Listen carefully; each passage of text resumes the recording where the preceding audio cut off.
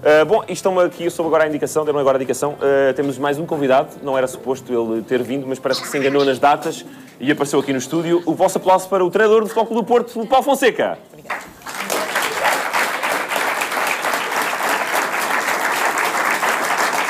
Boa noite, Paulo. Muito boa noite. Antes de mais, parabéns pela passagem hoje. Uh, obrigado. Obrigado, foi um jogo importante.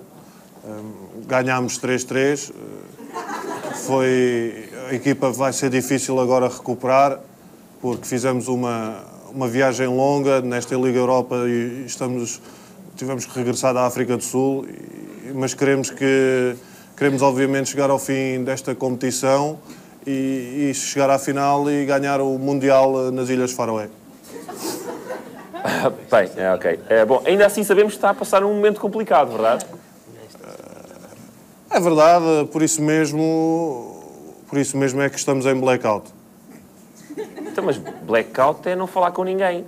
Exato. Ok, uh, bom.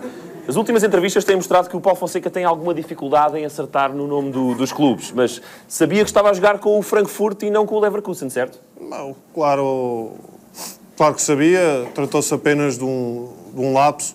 Aliás, nós estudámos eh, muito bem esta equipa que está muito bem classificada no campeonato francês. Chegou a apresentar a sua demissão ao Presidente? Cheguei. Eu fui ter com, com o Presidente, disse Bruno Carvalho, e, e coloco aqui o meu lugar à disposição, Sr. Presidente, eh, e a partir de agora peço que procure um novo contabilista. E até, e até redigi a, a carta e disse, apresenta a minha demissão assinado Euládio Clímaco.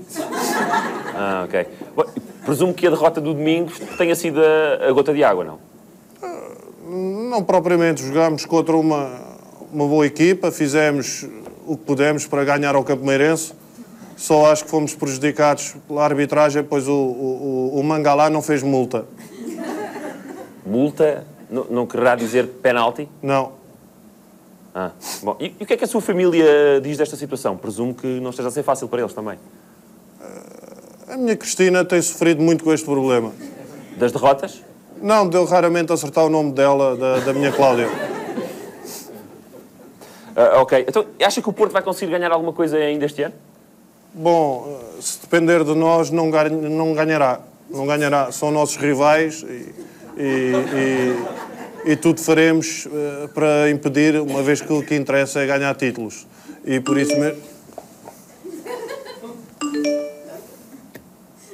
Uh, peço imensa desculpa, Sim. mas acabei de receber uma, uma mensagem a dizer que o blackout acabou, portanto eu não posso falar mais. Boa noite, Sr. Marco.